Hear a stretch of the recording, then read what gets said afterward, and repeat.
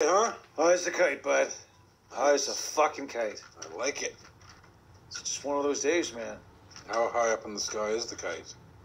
It's pretty high up there, I'd say. thousand feet. Flying haven't around. seen- What are you doing with your little bottle cap? Bubs, what the fuck? Is like, why? Why? Why were you doing that? What was it doing? It was annoying. Whatever it was, you were.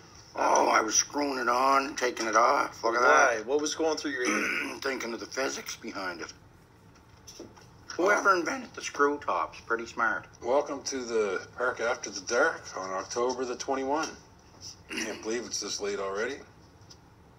Who did invent the screw top, man? Jimmy Screw. Reggie Top. Why don't you look it up in your smart box? Jimmy Screw and Reggie Top. They partnered up and invented the screw top. You know you're baked when you're fucking googling who invented The screw top cap. invented the screw. cap. Must have been somebody after Billy Cork. Yeah, Billy Cork started the whole trend of closing up bottles. But he became obsolete. Till Jimmy Screw and Reggie Cap came along. Guy named William Painter. And I bet he's a William fuck. Painter didn't invent the screw did, top, did man. 1892. he? He invented a bunch of shit. So It's he's, been around for a long time. he stopped painting, probably. No, it's not spelled like that. Pull up his Both uh, pry-offs and twist-offs. pull up his other inventions. Willie Painter. He invented a whole bunch of shit. Smart guy. Are you serious? Yes. Willie Painter, he's right up there with fucking Thomas- Benjamin Franklin and Thomas Thomas Edison. Edison. Edison. Thomas Edison, you know how he invented the light bulb? He was wiring copper wire. He was nuts. Tried to give himself a jolt. I don't believe you, man. He was. He he couldn't get his wiener hard, so he was putting electrodes on his nuts to see if he could blast it up, and his knob lit up. Are you what?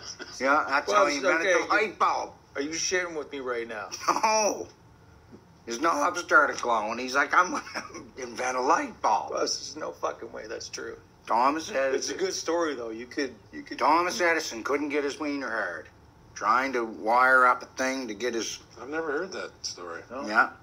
Hmm. Knob started glowing. He's like, holy fuck, this is a million dollar Same sort idea. of principle as Rudolph's nose, I guess. Similar. You know what? The screw, screw cap was actually first introduced in the 1950s.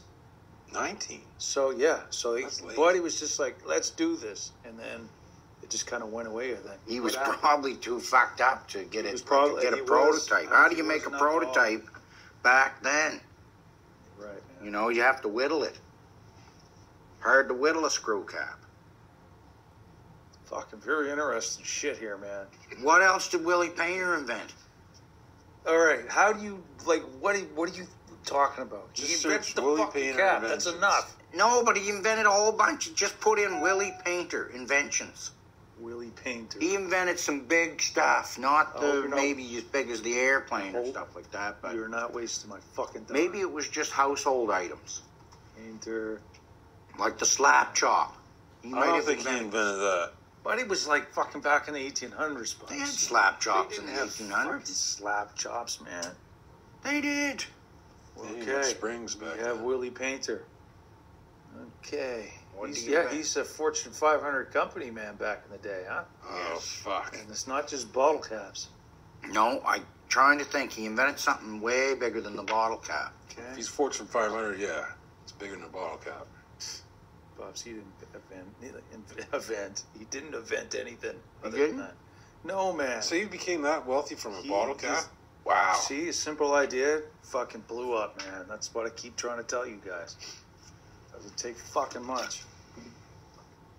This is a bit of a weird one. This bakery in San Francisco made a pan solo.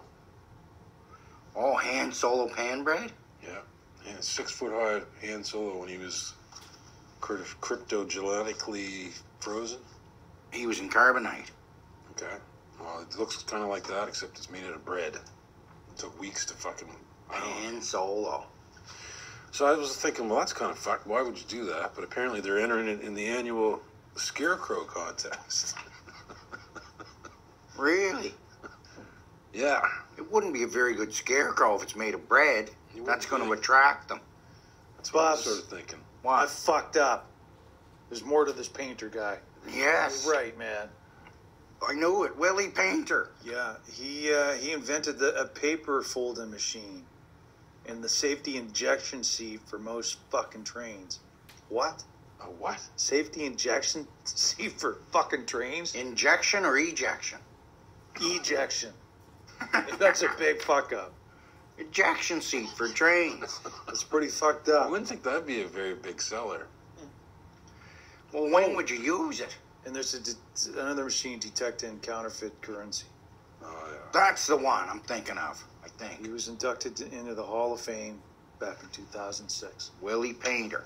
What a fucking champ that guy was. If you're gonna enter into a scarecrow contest, what would you build? Probably not a bread sculpture. No.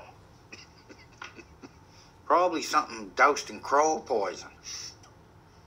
Yeah, that might work. You know, like a big lump of poison. Crow poison. That'll fucking teach them. Hey?